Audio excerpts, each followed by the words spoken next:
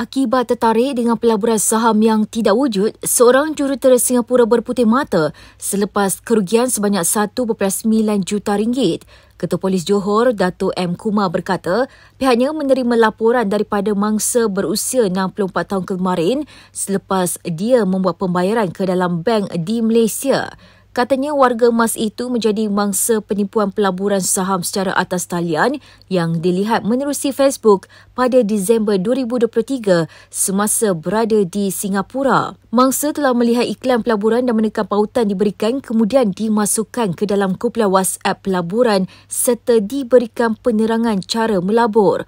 Tambah Datuk Kumar, mangsa diberitahu hanya perlu mengeluarkan modal manakala urusan pelaburan akan dilakukan serta diuruskan sepenuhnya oleh pihak syarikat.